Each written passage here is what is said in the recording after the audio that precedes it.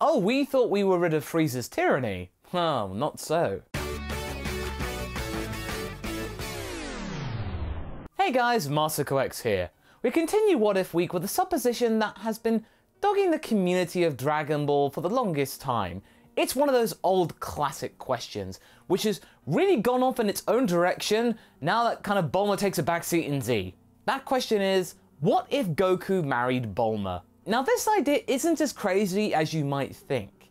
There were actually some proper rumours and speculation in the Dragon Ball story that Bulma was attracted to Goku at the 23rd World Martial Arts Tournament, she even said so herself, but when she saw the advances of Chi-Chi, she thought it might have been for the best that she kind of backed off from Goku and instead settled for Yamcha.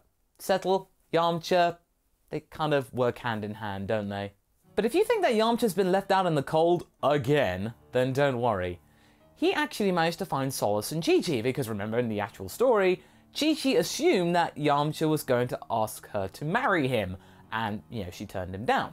But in this one, no, she won't eh, he's pretty much the same thing in a way. So in terms of these four people, none of them missed out. They found a couple, they managed to settle down, have a family. Yamcha has a successful baseball career despite the fact he's dead now.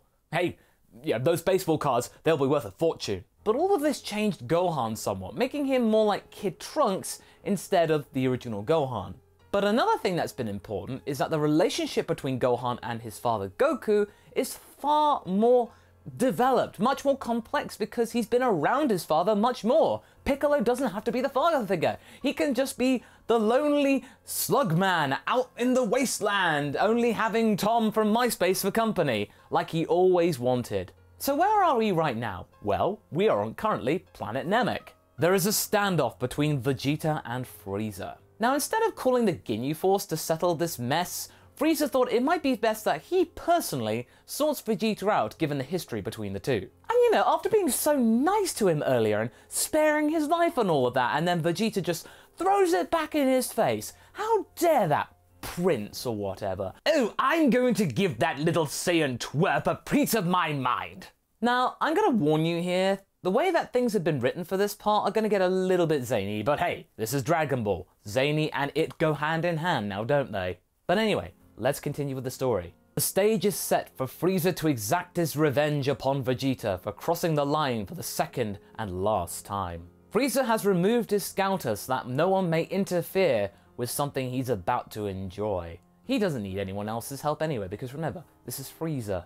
Now this is a pretty tight spot here. What do our heroes do? Do they give a character amongst them immortality like Vegeta? Do they wait for Goku to get back? They're, they're kinda stuck. Well, the only thing that they can do is for Nail to step up and try and distract Frieza long enough so that means they can make a wish. Frieza is a little bit taken aback by this, but oh well, I guess killing another useless fool might be a little bit fun before starting with the main course. Eh, why not? But before Frieza goes any further, he looks up and spots Porunga up in the sky and asks, What that dragon? What's it all about? What is that? What even is that? Dende and Gohan look at each other and they just have no choice in this situation. They have to lie the pants off this situation. Uh, it's, it's uh, a really big beast threatening to destroy the world, and uh, uh, it's gonna come and get us if we don't make him entertained. They hope that Frieza will be there to actually be their savior and uh, finish it. He looks up at the beast and muses it over and then promises to destroy this beast after he's done with this Namekian fool. And oh yes, after he's finished Vegeta. And remember, at this point without a scouter, Frieza cannot sense energy, so he can't sense anyone hiding their power levels or running away or anything kind of like that, so he's kind of blind. Nail takes Frieza away to a proper fighting spot and then Dende asks Gohan what they're gonna do. Well, after some thinking, the only thing that they can really think of doing is to wish Goku here. Maybe he can think of something. Dende quickly gobbles the wish because they don't really have much time, and Porunga then summons Goku to their location, unlike what they did with Piccolo, who's currently somewhere on Namek. But however, they don't need to do that, because Porunga then tells everyone that Goku is already heading towards the planet. And just as he says this, the shot of a spaceship looms across the sky and lands nearby.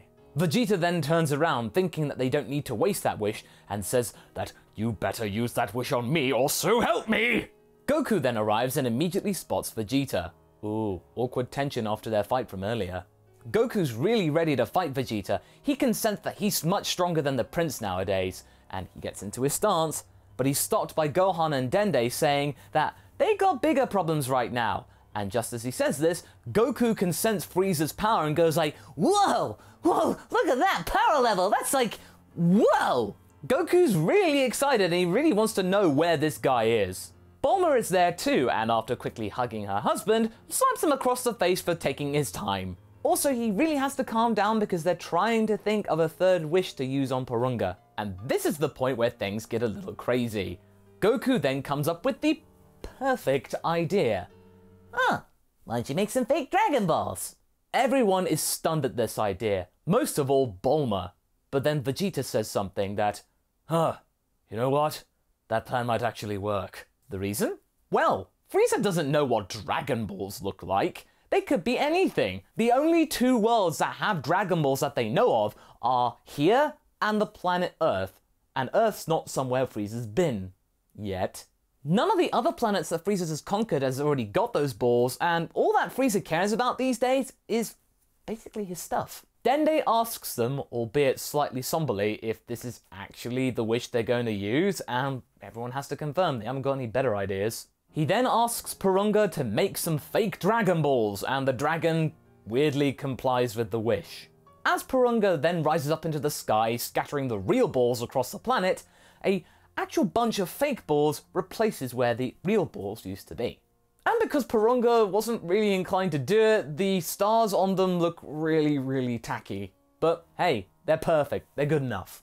While the wish is being made, Vegeta then tells Goku more about his Saiyan backstory, and especially, the most important part right now, the Zenkai boost. This is going to be playing a crucial part in order to take down Frieza and they're going to have to work together. And Goku quickly understands and then realizes that back when he was a child and every time he got injured, he'd always end up feeling much stronger once he recovered. So this is the reason why. Vegeta then confirms this and promptly blasts a hole in Goku's chest, leaving him completely winded and, you know, bleeding out. Everyone is left horrified and Vegeta is completely unfazed as he then turns to Dende to ask him to heal him. Dende then complies with this request, albeit being extremely terrified, not sure whether this will actually work, but thankfully for him, it does.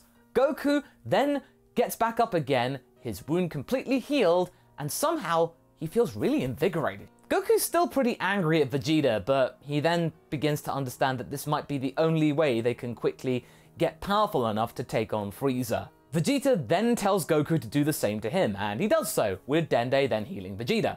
And this goes on for about maybe one or two times until Bulma then just stops and says, Please, can you guys just think of a more humane way to get stronger? All the while, Frieza's getting pretty bored of just flying to a location designated by Nail and decides to fight him right then and then in the sky. He doesn't realize that the real Dragon Balls are now inactive and will not be active for another year, so yeah, that danger is gone. With the flick of his tail, he sends Nail flying down to the ground, completely and devastatingly injured. Frieza is very disappointed that this fight was over so quickly, but he feels like he's adequately warmed up now to then take on Vegeta and make it a good one. Now remember, Frieza isn't really a brawler, so this required actual effort, and actual effort is something that Frieza just doesn't do. One blast from his finger is all enough, but this? This is far too much work, he needs to have a relax. When the Emperor arrives, the gang present to him the Dargan Balls. Ah, Lord Frieza! Present these Dargan balls to you, and uh, may your wish be a very good one, and one that benefits you most, O almighty Lord Frieza. Uh. Frieza is taken aback by this sudden change of mood, and is immediately suspicious. Why are you sucking up to me, Vegeta? I thought you hated my guts after what I did to your people. But hey, come on, it's Dargan Balls, so he's gonna take them regardless. He thanks Vegeta for this, and then proceeds to kick him in the gut. Before he heads back to his ship and then out of their sight forever, he turns back to Dende and says, Oh dear boy, tell me, how do you use these exactly? Oh dear. Nobody thought about that part of the plan. Dende frantically tries to come up with a solution, but Frieza is really impatient now that he's got his Dargon Bows, and he then gives the boy a countdown of five to tell him how to do it, or else he's going to kill him. Yep, the plan is falling apart, they have no choice, they've got to attack him. The double team of Goku and Vegeta are just about powerful enough to take on the Tyrant together and send him flying for miles, so that means they can now try and think of what to do next. Run away? Stand their ground? Use the Dargon Bows somehow? As the shooting star of Frieza heads over the Namekian sky, Piccolo encounters Nail's dying body, and, you know, he's just saying, well, oh, this is my people. Huh. Expected better. They then go through the whole discovery of the Namekian people, the ultimate solution to fuse their bodies together, and then Piccolo realizing that this is amazing! Frieza, now completely mad as hell, returns to the Guru's tower at full speed, winding Vegeta by punching him in the gut. With them together, things are pretty even, but then Gohan decides to step in and help. Frieza is now against three Saiyans, and this will not do, so instead of going after the adult, he's just going to try and pick up the smaller one because he does love a small moving target. He then blasts Gohan straight in the stomach and sends him flying over the cliff's edge. But then, Piccolo rises up from the cliff's edge carrying Gohan. A little nod to the original timeline there, but remember, the relationship between them is next to nothing. And with Nail's protective nature really driving him on, Piccolo is spoiling for a fight. It's now 4 against 1, but Vegeta, thanks to his darn pride, is now not satisfied by this fight at all. He tells Frieza to transform because he's known about that trait all along. Frieza's taken aback like in the original, but he then complies. We then get second form Frieza. Despite the setback, Piccolo still feels confident, and together with Goku and Vegeta, they then decide to carry on fighting Frieza. Eventually, Goku and Vegeta begin to tire out, and then it just becomes a one-on-one -on -one with Piccolo, now all pumped up, motivated, and confident. However, before Vegeta can be fully healed, Frieza then susses out the plan and spots Dende healing everyone in the distance. He then transforms into his third form and blasts away Vegeta and Dende. Goku's power is now up to where it was around after the time he left the medical pod, and Vegeta is now slowly dying, like in the original. Third form Frieza then just thinks that, oh, he doesn't need that boy anyway. He can just gather the balls and go to his scientists, and then that will be the end of that. And besides, he's done what he came here to do kill Vegeta. As he takes away the balls, though, Bulma, having sat on the sidelines for the longest time, has had enough. She then shouts up to the tyrant saying that he won't get away with this and that they will stop him. Frieza turns around and is slightly curious. What is this weakling of a subject doing? He decides to make a point and fires a death beam straight through her chest. And this shocks everybody, especially Goku. Goku tries to comfort Bulma, but it's too late. She's gone. An ancient power deep inside Goku has begun to wake up. Goku lets out a powerful scream and his hair turns gold. Yes, that's right. It is now the birth of the legendary Super Saiyan. He recognizes that this power must be really mighty, and he has no choice but to use that form. He lands back down on the ground and praises Goku's tenacity, and he will then oblige the actual monkey by showing a form that he's not shown anyone else before. He then transforms into his final form and promises the monkey one last duel before he blows him and the planet up and then he can be done with everything. He doesn't need these Dragon Balls, forget them. He wants to get these guys off his back. And I think this is where we'll leave things for now. I'm sorry if this got a little bit more detail than previous What If parts, but I felt that there was a lot of nuance here that needed to be conveyed for going forward.